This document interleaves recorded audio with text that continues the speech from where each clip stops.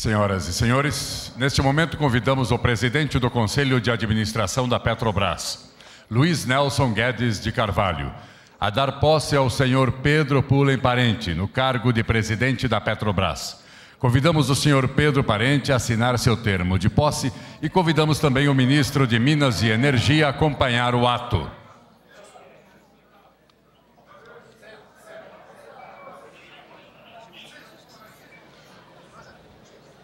guys.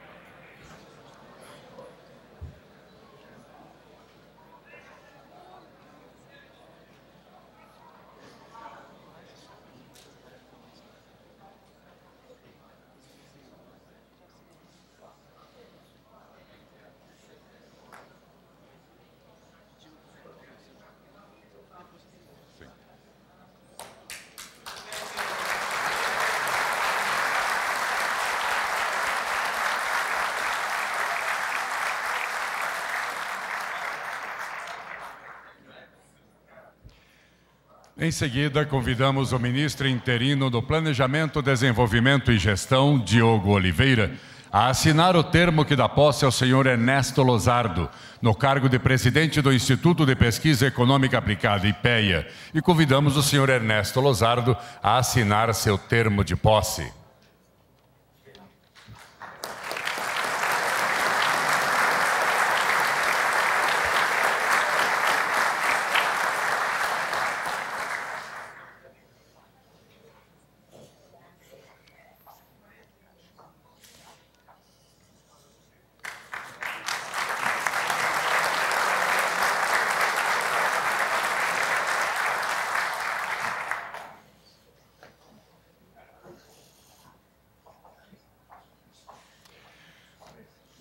O ministro Diogo Oliveira assina também o termo que dá posse à senhora Maria Silvia Bastos Marques, no cargo de presidente do Banco Nacional de Desenvolvimento Econômico e Social, BNDES.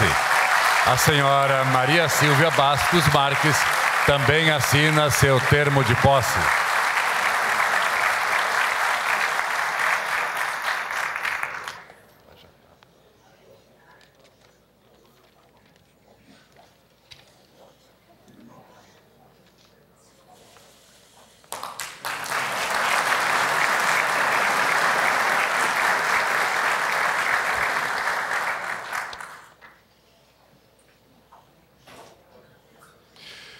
Convidamos a seguir o ministro da Fazenda, Henrique Meirelles, a assinar o termo que dá posse ao senhor Gilberto Ock no cargo de presidente da Caixa. Convidamos o senhor Gilberto Ock a assinar seu termo de posse.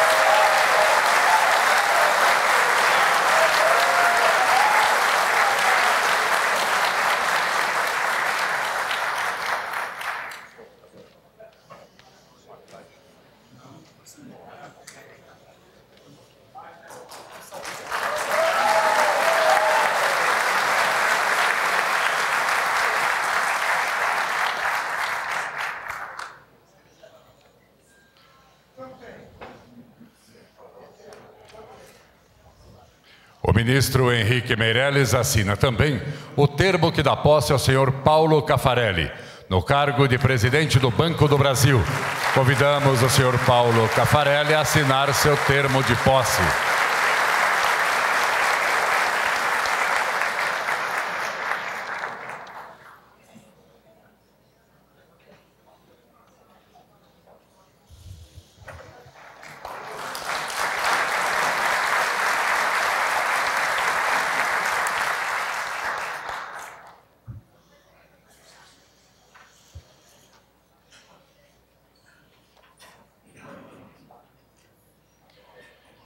Com a palavra, o senhor presidente da República em exercício, Michel Temer.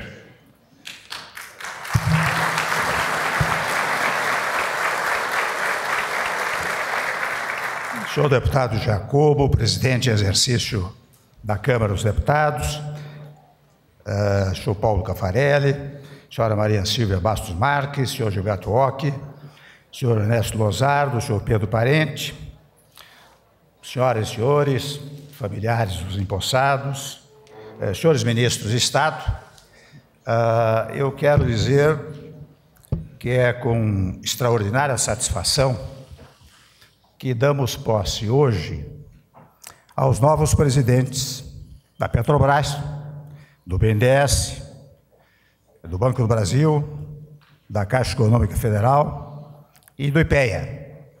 E devo registrar até que estamos nomeando também o doutor Paulo Rabelo de Castro para o IBGE. Apenas não está merecido os aplausos, aliás. Não está tomando posse hoje em face de viagem que fez há dias atrás, mas será o presidente do IBGE. É, todos, naturalmente, são profissionais com relevantes serviços já prestados ao Brasil. Pessoas públicas que têm o perfil que queremos imprimir ao Estado brasileiro. Ou seja, um perfil de competência e eficiência. Isto agora é mais do que fundamental, porque o país, não vamos ignorar, se encontra mergulhado numa das grandes crises da sua história. Uma conjugação de graves problemas ocasionados por erros os mais variados ao longo do tempo, comprometeram a governabilidade e a qualidade de vida da nossa gente. Vou dizer obviedades, que os senhores leem e as choras diariamente pelos jornais. Já são mais de 11 milhões de desempregados. A inflação ainda inspira vigilância. O déficit de 96 bilhões de reais na conta pública, apontado pelo governo anterior, atinge na realidade, como sabemos, a casa de mais de 170 bilhões de reais.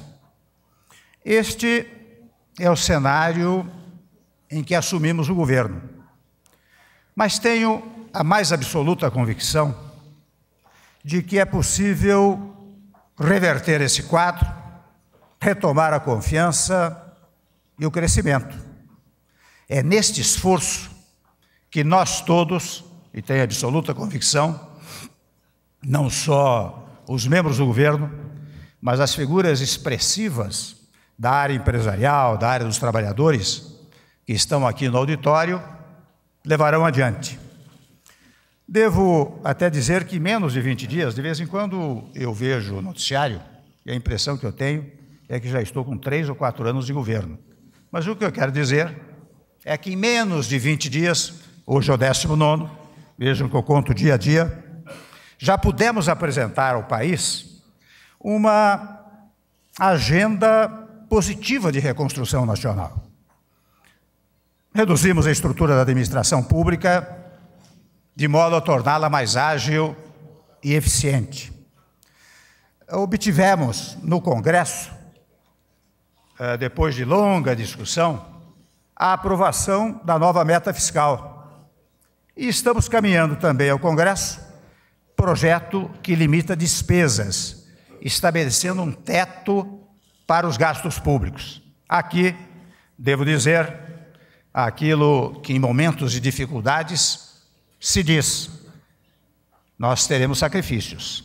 Agora, quero registrar, para não haver exploração, no sentido contrário, que sem embargo da redução ou da limitação das despesas, as, os percentuais referentes à saúde e à educação não serão modificados. Porque muitas e muitas vezes eu vejo, ouço, vejo, ouço, leio afirmações de que este governo vai destruir tudo que diz respeito àquilo que mais toca aos setores sociais. Então faço questão de enfatizar e até peço que ao ouvirem o que eu estou dizendo, grifem esta parte. Nós sabemos, não é, que todas estas medidas não resolverão da noite para o dia os nossos imensos problemas. Mas é preciso imediatamente recuperar a confiança do povo brasileiro no seu futuro.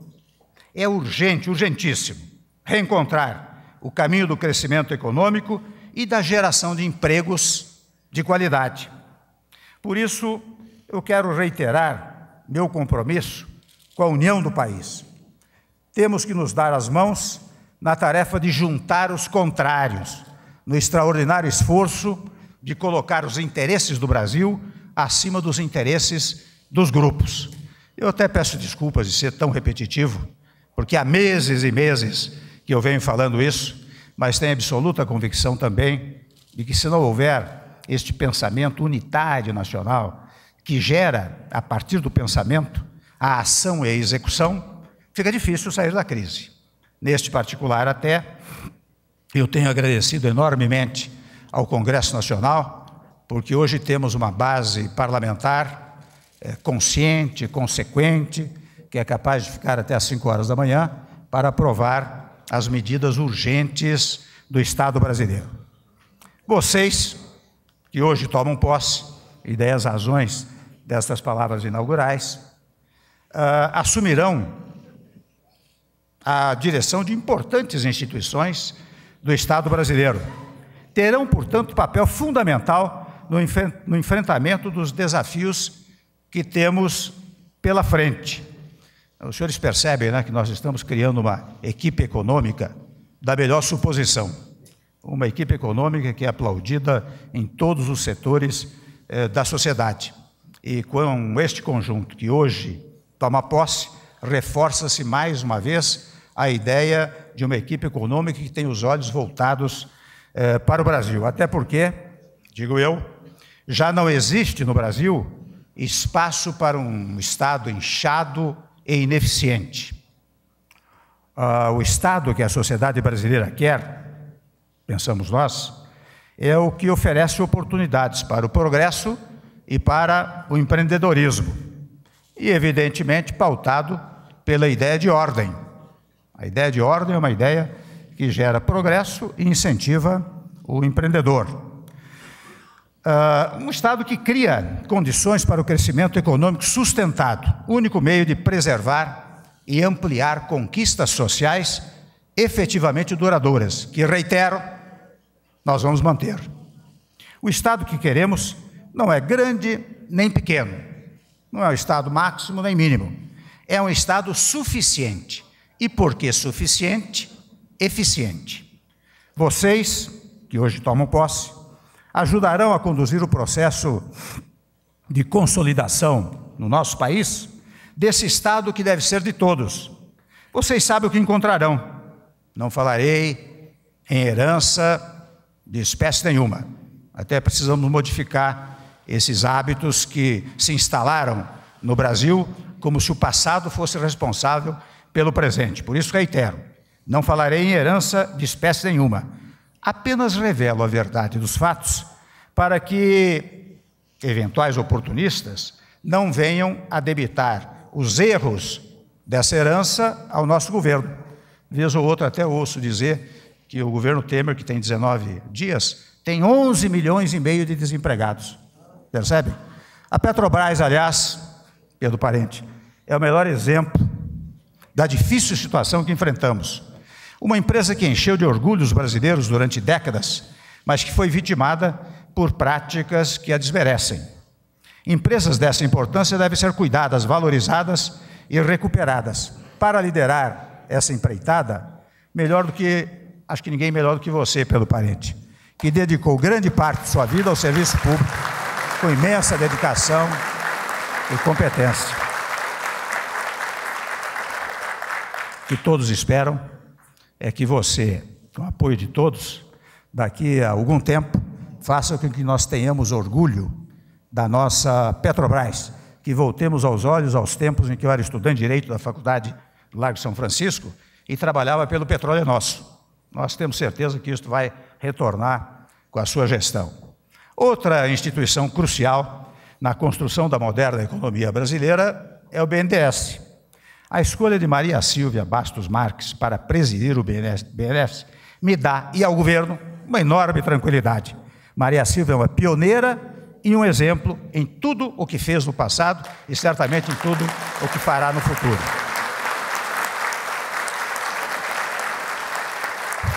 Ao lado do Banco do BNDES, o Banco do Brasil é um dos pilares do Estado em sua missão de concorrer para o financiamento do nosso desenvolvimento. Paulo Rogério Cafarelli conhece o Banco do Brasil por dentro. Começou, se me permite relembrar, começou como menor aprendiz e nele tornou-se funcionário de carreira até chegar à presidência. Portanto, com essa intimidade do Banco do Brasil. Outro órgão de especial relevância para a promoção do desenvolvimento é a Caixa Econômica Federal. Gilberto Magalhães Roque tem perfeita consciência disso. É outro presidente que conhece por dentro a instituição que conduzirá.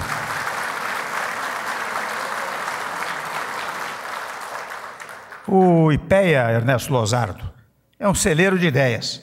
E você que eu conheço há muito tempo, sei que é um grande produtor de ideias. Não é?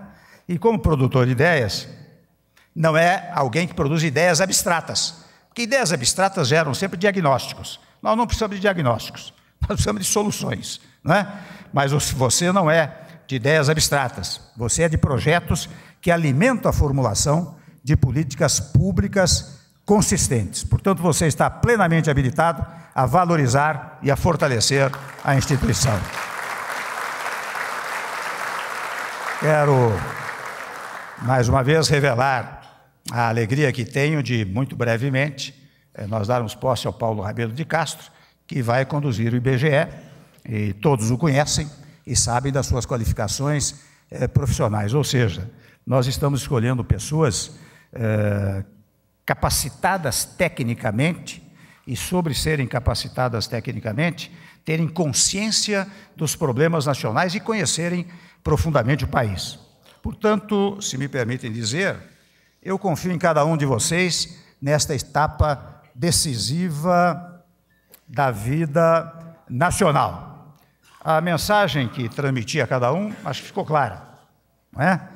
é a Petrobras, o BNDES, o Banco do Brasil, a Caixa Econômica Federal, o IPEA, o BGE, são patrimônio não deste ou daquele governo, não deste ou daquele grupo político, são patrimônio do conjunto da sociedade brasileira.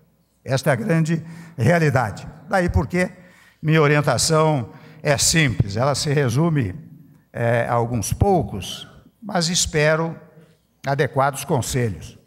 Trabalhar duro, ter o interesse público como horizonte, preservar a ética e a transparência na gestão e em todas as decisões, estimular a eficiência e os eficientes, estar em sintonia com os anseios da sociedade e ser absolutamente intransigente com tudo que se afaste da estrita legalidade.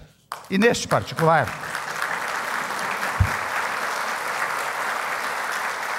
neste particular, eu quero é, revelar pela enésima vez, pela enésima vez, que ninguém vai interferir na chamada Lava Jato. A toda hora eu leio uma outra notícia de que o objetivo é derrubar a Lava Jato. Por isso que eu tomo a liberdade, sem nenhum deboche, de dizer pela enésima vez: ah, não haverá a menor possibilidade de qualquer interferência do Executivo nessa matéria. Por isso. Por isso eu desejo a cada um êxito em suas missões, em suas gestões, que deverão atender ao imperativo da, da transparência e eficiência que a sociedade brasileira, com toda a razão, exige de todos nós. Portanto, mãos à obra e muito obrigado a vocês.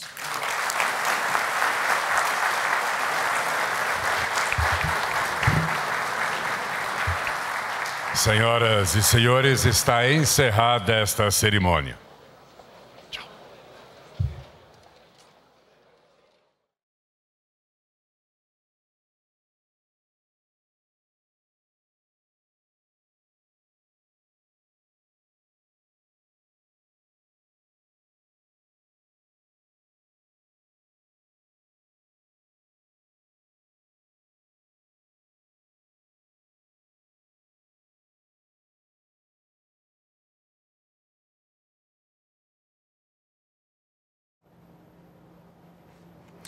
Nós acompanhamos ao vivo, direto do Palácio, do Planalto em Brasília, a cerimônia de posse dos presidentes do BNDES, da Caixa Econômica Federal, do Banco do Brasil e do IPEA, o Instituto de Pesquisa Econômica Aplicada. No BNDES, o Banco Nacional de Desenvolvimento Econômico e Social assumiu a economista Maria Silvia Bastos Marques. Na Caixa Econômica Federal, Gilberto Ock, ex-ministro das Cidades e da Integração Nacional, assumiu. No Banco do Brasil, o novo presidente é Paulo Cafarelli, que já foi diretor e vice-presidente do próprio banco, além de secretário executivo do Ministério da Fazenda. Na Petrobras, quem assumiu foi Pedro Parente, que já foi servidor do Banco do Brasil, do Banco Central e consultor do Fundo Monetário Internacional. No IPEA, o Instituto de Pesquisa Econômica Aplicada, o economista e administrador Ernesto Lozardo assumiu a presidência. Em seu discurso, o presidente interino Michel Temer destacou o profissionalismo, a competência e a eficiência dos novos presidentes, o que, segundo ele, é fundamental para ajudar o país a sair da atual situação financeira, superando o déficit das contas públicas e diminuindo o desemprego. Nós ficamos por aqui, voltamos a qualquer momento com outras informações. Continue na NBR, a TV do Governo Federal.